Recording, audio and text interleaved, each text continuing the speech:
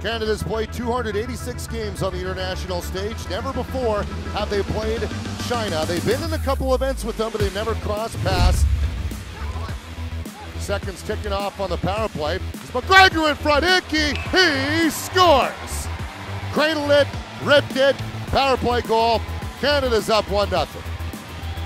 Looking to battle there. Dig.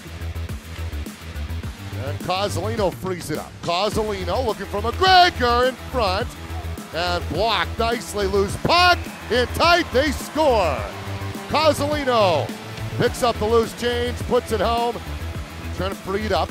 The Saudi streaking around the crease. Done. Backhander. Doink. Wow, did he get that puck up quick? Burnett trying to keep it in, and he can't. Down the wing comes Halbert. Halbert has it down the left side, still on it. Halbert, what a move, and what a save by G, kicking that one out of the way.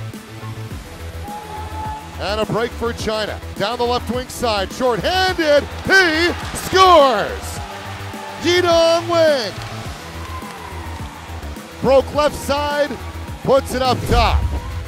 Cross ice to Dag, drops it off for Halbert. He's over the line.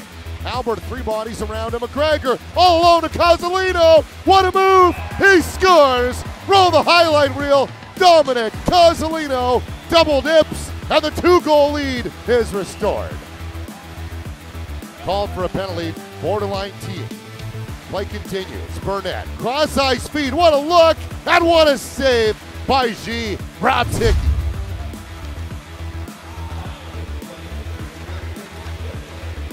Cozzolino spinning around.